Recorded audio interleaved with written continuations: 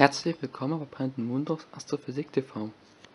Im heutigen Video möchte ich euch mal erklären, wo eigentlich der Unterschied zwischen der scheinbaren Helligkeit und der absoluten Helligkeit liegt.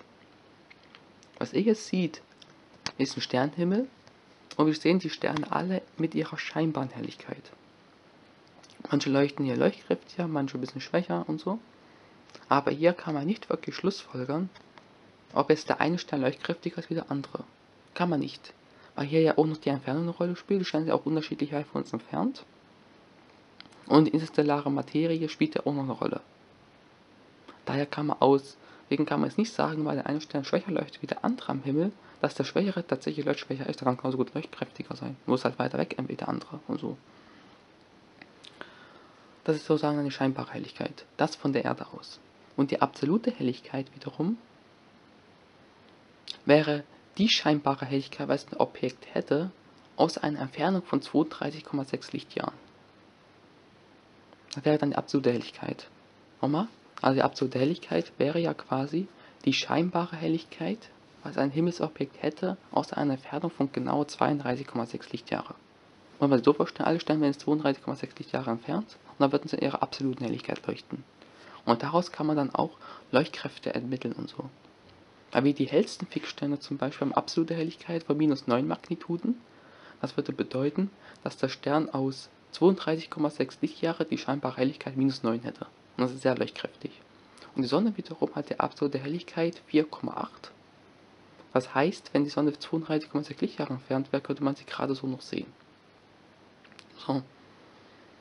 Die scheinbare Helligkeit und auch die absolute Helligkeit werden in Magnituden angegeben. Der Unterschied zwischen zwei Magnituden beträgt 2,512 und zwischen 5 Magnituden beträgt der Unterschied, Leuchtkraftunterschied 100. Das heißt, 0 Magnituden wäre ja quasi dann 100 mal heller als 5 Magnituden sozusagen. Und 2 Magnituden wären 2,512 mal heller als 3 Magnituden. Zum Beispiel ein Stern mit der scheinbaren Helligkeit von 2,6, da könnte man auch sagen Stern dritter Größe weil es ja auch größere Klassen noch gibt. Und gehen von 1 bis 6 sozusagen. Und wenn ein Stern die scheinbare Helligkeit 6 hat, kann man sie gerade so noch am Himmel sehen. Also der kleinere Zahl, also 5 ist heller wie 6, 2 ist heller wie 3 und dann, wenn es noch negativ ist, ist es ein ganz besonderes heller Stern. Wie zum Beispiel die Sonne. Es hat eine scheinbare Helligkeit von minus 26,7 und eine absolute Helligkeit von plus 4,8 wie ich schon gerade gesagt habe. Das heißt, aus 150 Millionen Kilometer Entfernung hat sie dieses scheinbare Gravimin 26,7, aber wäre sie 32,6 Lichtjahre entfernt, hätte sie die scheinbare Helligkeit 4,8.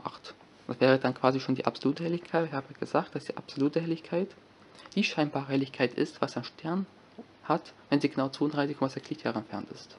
Aber auch reflektierende Objekte in unserem System werden mit absoluter Helligkeit angegeben, aber da wird die Entfernung eine astronomische Einheit genommen nutzt man dasselbe Prinzip.